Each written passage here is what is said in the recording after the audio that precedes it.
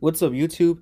It's Power Blast X here, back at it with another video. Today, I wanted to show you my failed attempt at getting Windows Vista working on modern-ish hardware. So this is a Dell Latitude 5500, a Dell business class laptop from 2019. And right now, I tried a Windows Vista extended kernel ISO and it failed. As you can see, in safe mode it shows a red bar at the top, which is a broken BSOD.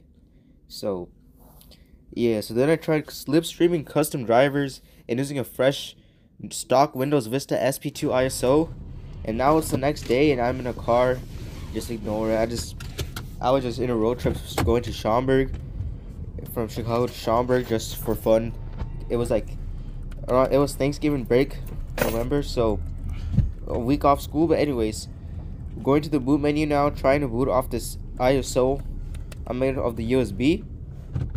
Um, but yeah, this is pretty modern. HNI 7, UHD 620, Radeon 540X, 16 gigabytes of DDR4, USB 3.1, NVMe, UEFI Class 3, you name it. So right now we're booting to the installer. This uses a Windows Vista. Um, installed a Win, but the actual uh, PE is Windows 7 PE. That's why I booted into the setup because the setup uses Windows 7 setup. So as you can see, um, gonna be trying to install this it uses the Windows Vista setup, but the Windows 7 pre-installation environment is being used. So, yeah, this isn't Windows Vista yet. This is technically Windows 7, but the install.wim is a fresh stock Windows Vista SP2 with Slipstream drivers. And as you can see, my NVMe drive is showing up, which should, which is good to see. And now we're installing.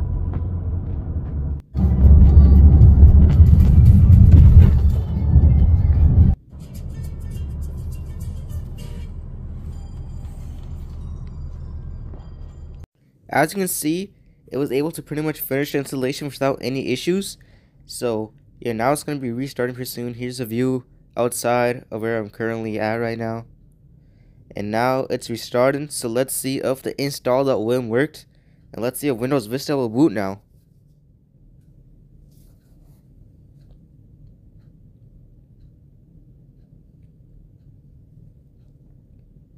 So far, Dell logo so far it's booting fine.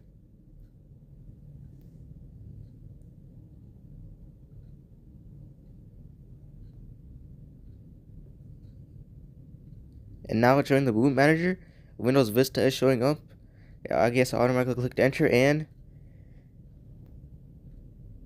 look at that. It's a super glitched boot screen. That's actually the Windows Vista boot animation, but it's really, really glitched. But now the screen went black and yeah, it's broken. It's not booting at all. So I tried going to Ventoy now and opening up the um, EFI shell.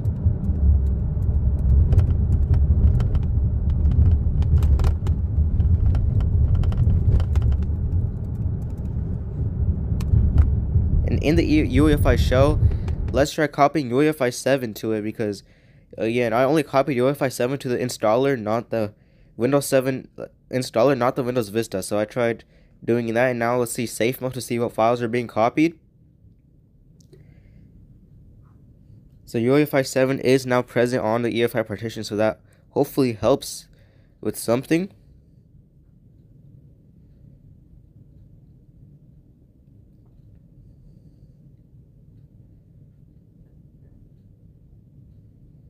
As you can see, we just crossed that intersection.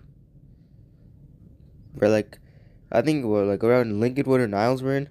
crcdisk that's this, that's where it stopped. That's normally the last loaded file before it's supposed to like boot up. Normally Windows Vista CRC uh, disk is the last loaded file before it like does something. But as you can see, it's right now it's getting stuck and yeah, it's not going anywhere. It, it was just stuck out here for a very long time. So I rebooted and just tried um Disable automatic restart, no, driver signature enforcement. And now as you can see, the super glitch boot animation again. And then the screen goes black and it's another fail. So, restarting again. Start Windows normally. Just trying this out again. Super, super glitch boot animation again. And another fail, yup. Failed again. So I booted back into the PE environment. And this time we're going to be trying out FlashBoot Pro, which is like an alternative EFI loader. So I clicked Windows Vista on FlashBoot Pro, start Windows normally, and it's just a black screen. Absolutely nothing shows up. So I tried some commands with may help maybe. So I just tried that and yeah, I got stuck at that screen for a while again. So another fail. After almost an hour of driving, we reached IKEA Schaumburg. I, I guess IKEA Chicago, but this is not Chicago. This is Schaumburg, Illinois. But yeah, we're now at IKEA just for fun.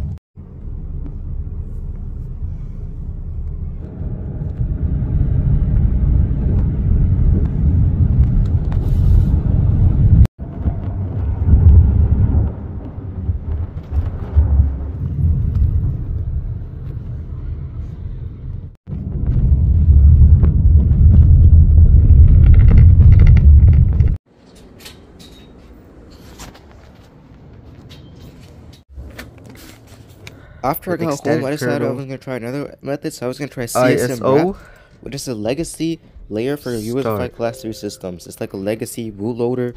Oh, wait, never mind. I forgot, some I to change it to for systems that don't support CSM. Yep. Normally, yeah, like UEFI Class 3. So CSM wrap. this time we're using a Vista extended kernel ISO formatting the USB to right. legacy and UEFI. Hopefully this ends up working. This is literally using the last thing I would try. This is basically the last thing I can do. If this doesn't work, this legacy this is a failed video.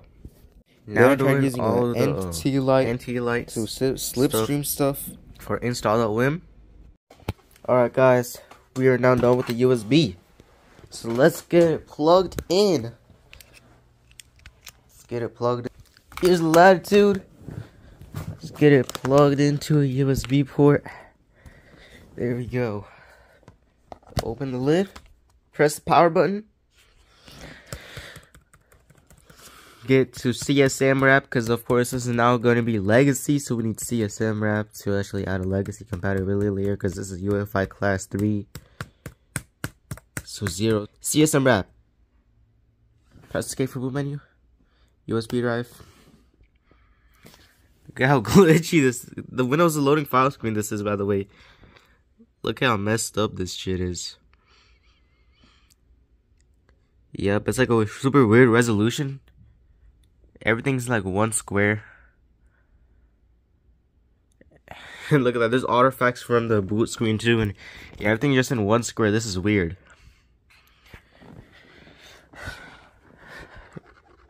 Is it gonna do anything? There we go.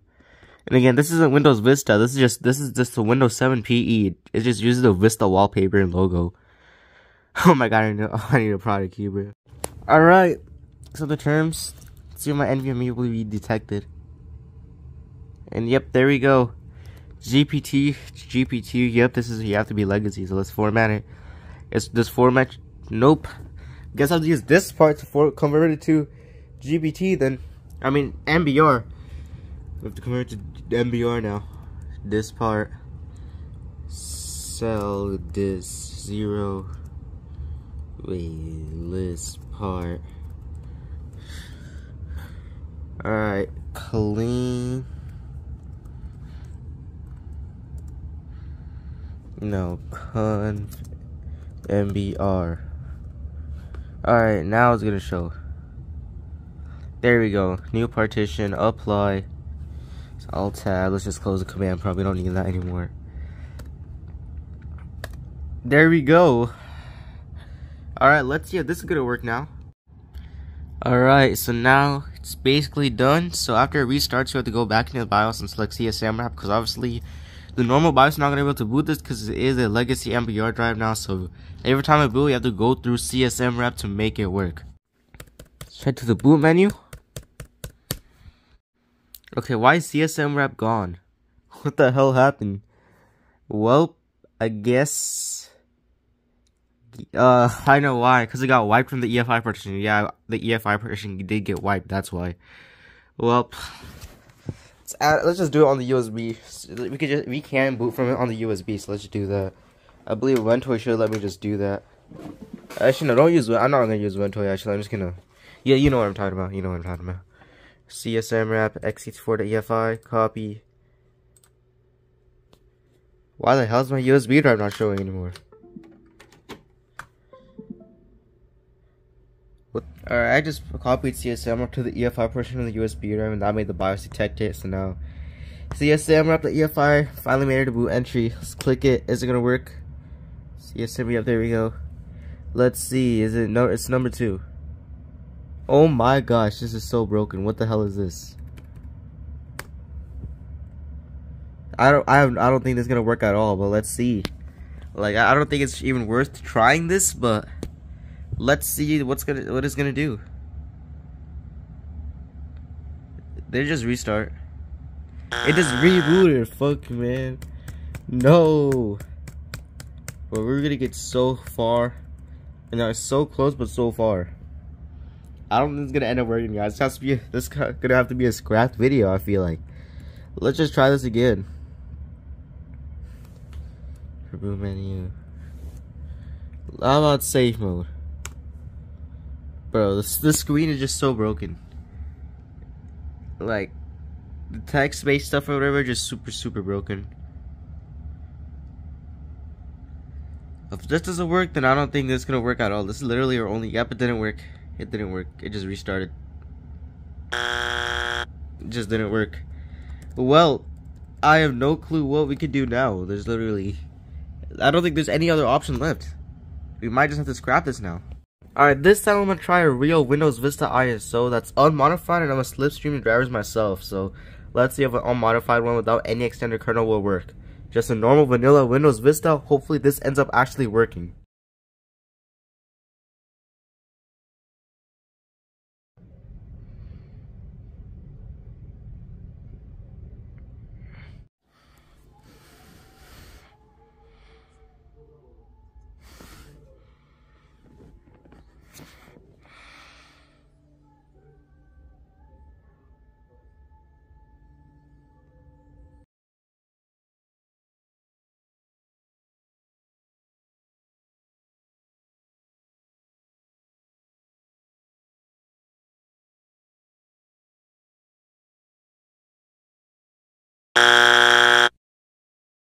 Alright guys, well that was all the attempts I tried on you know, Windows Vista, just didn't boot, couldn't get in any environment, so we're just restoring Windows 10 now. I'm putting, putting back Windows 10 on here, and now next up we're going to be doing Hackintosh, macOS 26 Tahoe. So, I hope you'll enjoy the video. Be sure to let share, comment, um, give me some ideas in the comments, maybe if you have things that I might be able to try, then help me out. But until then, thank you so much for watching this video. Let share, comment, peace out.